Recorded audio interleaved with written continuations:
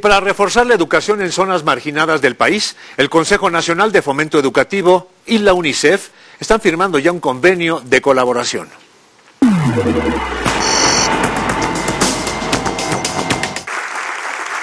Con el apoyo de la UNICEF, el Consejo Nacional de Fomento Educativo reforzará la educación en las zonas de mayor marginalidad en el país. Los retos en educación inicial y preescolar aún son muy grandes en cuanto a oferta, calidad de servicios y lo que se puede comprobar con las cifras del censo de 2010, mismo que estas muestran que el 45% de los niños y niñas de 3 a 5 años están fuera de la escuela. Esta cooperación entre la CONAFE y la UNICEF plantea ayudar a 500.000 menores.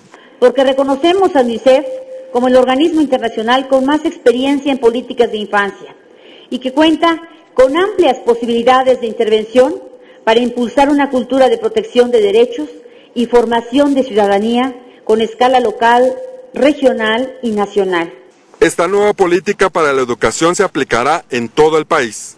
Nosotros tenemos a los niños y niñas, como ustedes saben, que viven en las comunidades más marginadas y alejadas de nuestro país, comunidades indígenas y demás, y para nosotros es muy importante que ellos vayan aprendiendo eh, ese tema, el tema de ciudadanía, el tema de derechos, de respeto a los derechos humanos, eh, de una cultura de la legalidad. Al asistir como invitado especial a la firma de este convenio, el presidente de la CNDH reiteró que la educación es uno de los derechos que deben de tener los menores como dicta la Carta Magna, sin exclusión ni marginación.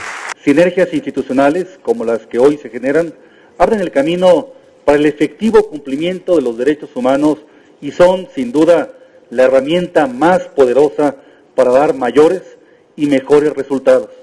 Sin duda que debemos de alinear los esfuerzos.